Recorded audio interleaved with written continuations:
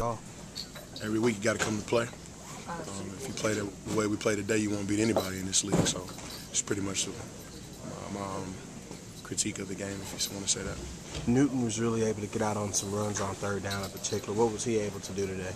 Um, we just got to do our jobs. Um, they came out with a good game plan. You know, they wanted to run the ball. He made some explosive plays. We just got to get him down. We feel like the plays were there. You know, we just got to make them. From the press box, like you guys were a little flat on defense. Was that the case? Yeah, I felt like we we, we started flat. Um, that's something that we gotta we gotta work on. You know, just gotta get better at it.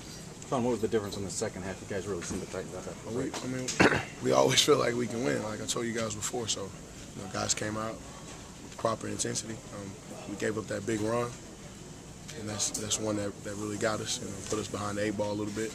But ultimately, you know, we fought back, but it just wasn't enough today.